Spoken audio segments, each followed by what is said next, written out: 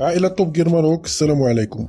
الفيديو ديال هاد النهار غادي يكون مختلف بعض الشيء على الفيديوهات القدام غادي نهضروا في هاد الفيديو هذا على جوج السيارات شبابية ومطلوبة بزاف وما كاينش اللي ما تيهضرش عليهم. تبعوا الفيديو مزيان باش تاخذوا فكرة مضبوطة على هاد جوج ديال السيارات فاصل ونواصل.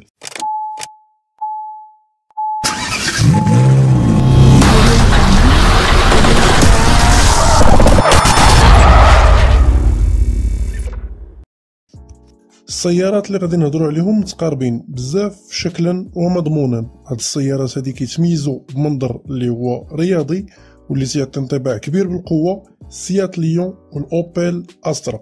غادي نبداو بعرض أهم المواصفات ديال هاد السيارتين كلها على كل سيارة على حدة.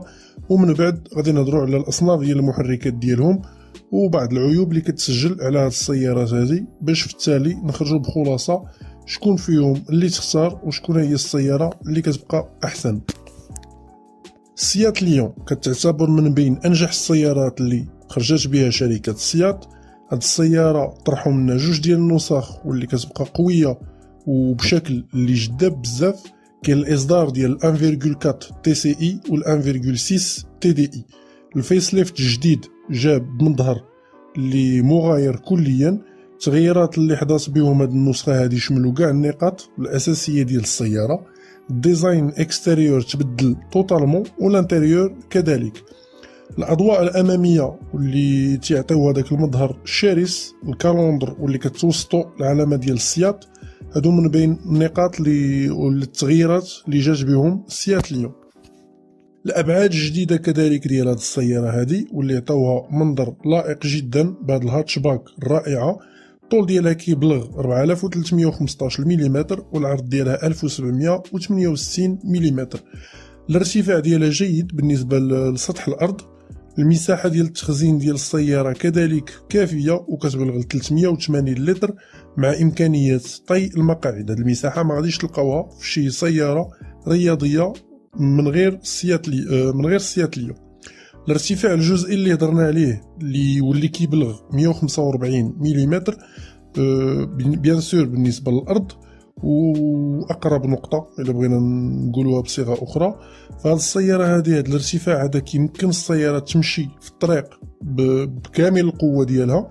وكذلك كتبقى مرتفعة على الأرض بشكل كافي كيخليها تيفيتي كاع الاحتكاكات اللي كيكونوا مع الأرض اولا بعض الصدمات اللي كيكونوا les trottoirs par exemple عموما ال design ديال السيارة الخارجي كيبقى original وكينافس أقوى les hatchbacks اللي كاينين حاليا في نفس الفئة ديالها. design intérieur واللي خدمت عليه آه، شركة Seat بشكل اللي هو جيد كذلك قدرت توفر مقصورة داخلية رائعة بكل المقاييس مع إمكانية الحصول على شاشة ملاحة كبيرة فيها كاع وسائل الترفيه والقدرة على التحكم بمختلف مميزات هذه السيارة هذه اوبيل استرا واللي كنهضروا عليها في الجيل الجديد ديالها اللي خرج من مور الجيل ديال 2009 واللي لقى استحسان واسع وكان الطلب عليه كبير كذلك.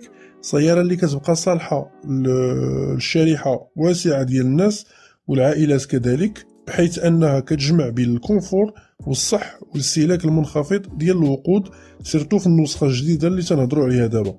هاد السيارة واللي قدرت تمزج بين الشكل العصري والرياضي والإمكانيات الجيدة على الطرقات. سيارة في حله جديدة ديالها حتى هي كتميز بشكل خارجي رائع وحصلات على تحديثات زوينة. من حيث الأضواء الاماميه والخلفية وكذلك المقصورة الداخلية ديالها اللي تبدلات ولات شبيهة بالسيارات الحديثة اللي كتعتمد تقريبا نفس المقصورة مع اختلاف من حيث المواد المصنعة على حساب كل شركة علما أن ال plateforme باش تخدمات الاوبل كانت شراكة بينها وبين البيجو سيتروين واللي تخدمات بهم 308 وال 4008 اللي غادي تخرج قريبا. بالنسبة للبيجو الارتفاع ديال هذه السيارة هذه على الأرض أكثر من السيات ليون كتبلغ 165 ملم وهذا ارتفاع مزيان وأحسن من معظم السيارات اللي في الفئة ديالها. بالنسبة les options ديال هذه السياره هذه غادي نحاولوا نطرقوا لهم بلاتي شي شوية. بالنسبة لاصناف المحركات غادي نبداو بالسيات ليون. متوفرة بمحرك من سعة 1600 عفوا سي سي. موصول بناقل حركه يدوي واوتوماتيكي من 5 و 6 ديال السرعات. السياره متوفرة في 1.6 TDI و 2 لتر بالنسبة للنسخة ال FR آه، ما بين 105 الخيل حتى 143 السيارة كتميز بخاصية الحقن الإلكتروني ديال الوقود. بالنسبة لناقل الحركة الأوتوماتيكي فهذا الأخير غير متوفر عندنا حاليا في المغرب. كاين غير في النسخ اللي exportées من الخارج. بالنسبة للاستهلاك ديال الوقود السيارة économique حيث أنها كت consommer 3.8 لتر في كل 100 كيلومتر.